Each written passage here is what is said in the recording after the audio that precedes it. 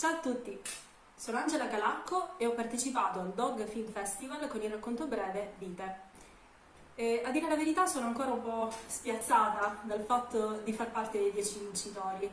Infatti quando eh, ho mandato il mio racconto al concorso eh, avevo semplicemente questa fortissima voglia di mostrare e dimostrare per mezzo della scrittura la storia della mia cagnolina speciale.